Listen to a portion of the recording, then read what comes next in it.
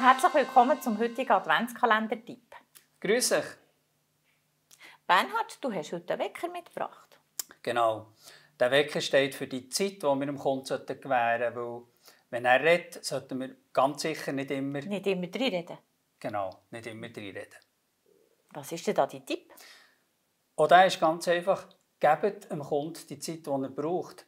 Wenn ihr ihn reden lässt, sorgt ihr so für ein wunderbares, entspanntes Gesprächsklima. Und Und ihr erfahrt sofort, was er wirklich meint. das ist ein guter Tipp. In diesem Sinn, bleibt gesund. Und bis zum nächsten Adventskalender-Tipp.